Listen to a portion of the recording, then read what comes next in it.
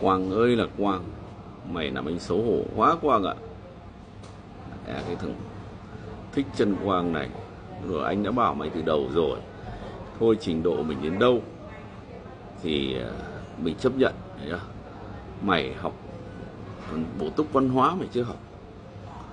Ngay từ cái lúc mày đi à, cố chạy trọt để xin cái bằng cấp 3 điểm anh đã khuyên mày hết nước hết cái rồi mà mày không nghe thậm chí là khi mà mày ra ờ, làm tiến sĩ đấy mày cũng có xin ý kiến anh đúng không?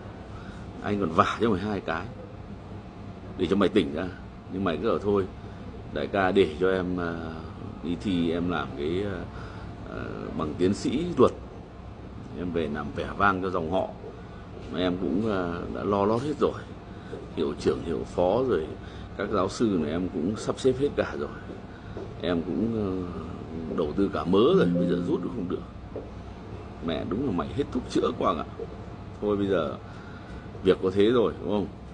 Sở ờ, giáo dục đào tạo thành phố Hồ Chí Minh ấy, nó, người ta đã có công văn xác minh là mày là không có cái trong cái danh sách tốt nghiệp bao nhiêu năm ở trong đấy rồi, không có tên thằng nào là thằng Vương Tấn Việt cả, nhá thế thì cái bằng uh, tiến sĩ của mày ở siêu tốc của mày ở đại học luật này là cũng cũng tèo mẹ rồi nhé, nói tóm lại là mày làm xấu hổ cả dòng họ nhé, còn đợt này về tao nói luôn này mày phải quỳ xuống nhé.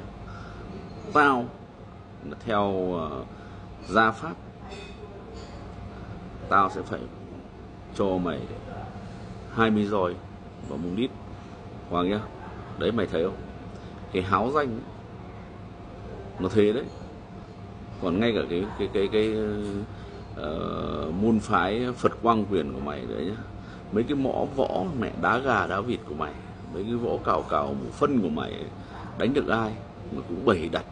Môn phái này môn phái kia chết vẫn không chừa thằng quang này. Láo